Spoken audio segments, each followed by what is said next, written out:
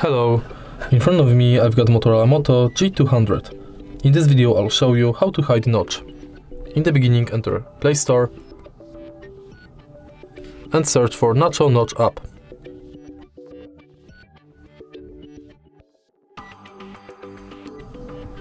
Install it.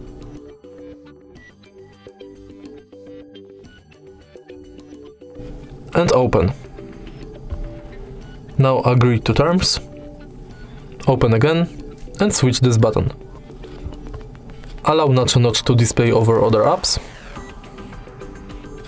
Enter Nacho Notch again, switch this button and your notch is hidden. If you find this video helpful, please leave like, comment and subscribe.